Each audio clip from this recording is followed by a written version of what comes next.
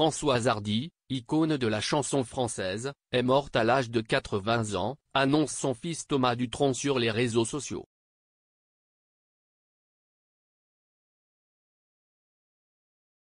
Elle se battait depuis 2004 contre le cancer et s'était dernièrement exprimée à l'occasion du débat sur la fin de vie.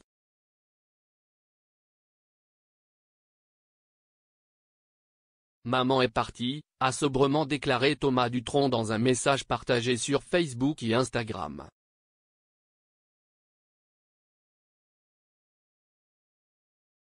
L'icône de la chanson française Françoise Hardy est morte à l'âge de 80 ans, a annoncé son fils, mardi 11 juin dans la soirée.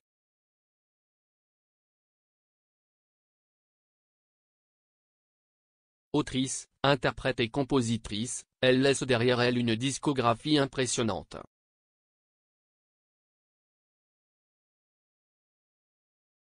Depuis tous les garçons et les filles, album qu'il a révélé au grand public en 1962, elle a enregistré 28 albums jusqu'à personne d'autre, parus en 2018.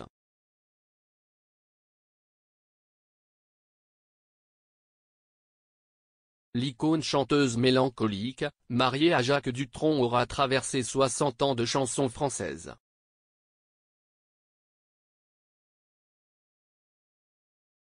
Elle se battait depuis 2004 contre le cancer et s'était dernièrement exprimée à l'occasion du débat sur la fin de vie.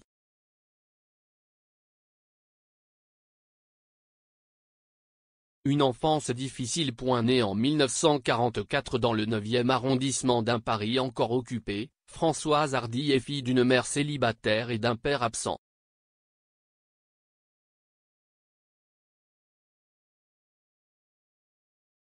Celui-ci, originaire de Blois, entre dans la résistance et sera déporté à Dachau pendant la guerre.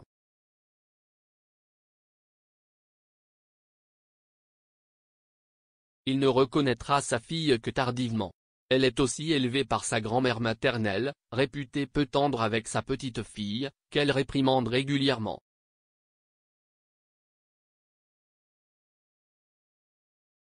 Cette enfance difficile forgera la personnalité sentimentale et complexée de la chanteuse.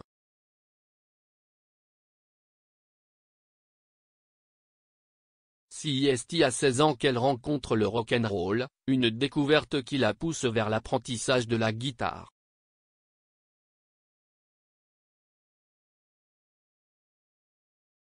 Plus tard, elle est sélectionnée dans l'émission Le Petit Conservatoire de la chanson de Mireille, où elle restera deux ans.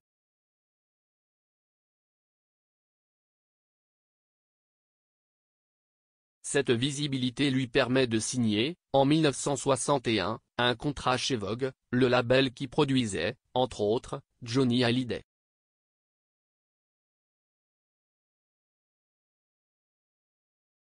Icône aux côtés de Sylvie Vartan, Johnny Hallyday ou Eddie Mitchell, Françoise Hardy fait partie des figures emblématiques de la génération Salut les copains, ce magazine symbole des années rock'n'roll françaises.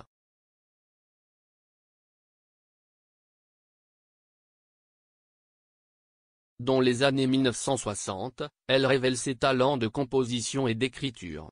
Le 28 octobre 1962, pendant la soirée des résultats du référendum sur l'élection du président au suffrage universel, elle chante tous les garçons et les filles pendant l'interlude musical.